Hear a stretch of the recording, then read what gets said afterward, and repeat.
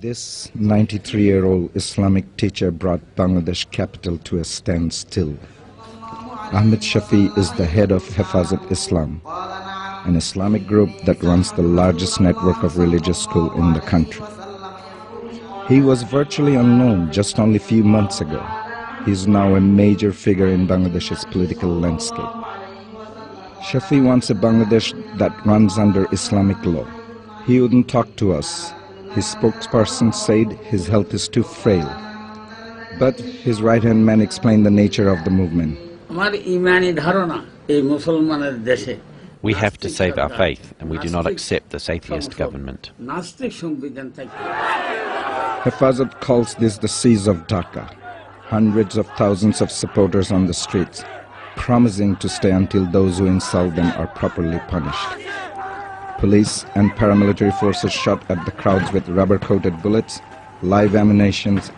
scores were killed and hundreds were injured. Members of Hifazat and their supporters are still shocked and grief-stricken from the carnage that took place on May at Shapla Square, Dhaka.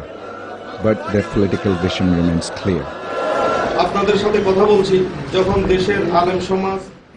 We are gathered in here today when the believers of faith are facing unprecedented violence and atrocities. Such orchestrated killing has never taken place in the history of Bangladesh before. We demand and we want a judicial inquiry into these killings and those guilty must be punished. We will continue to struggle to topple this atheist government. The two largest political party of the opposition, Bangladesh Nationalist Party and Jamaat have offered their full support to the movement.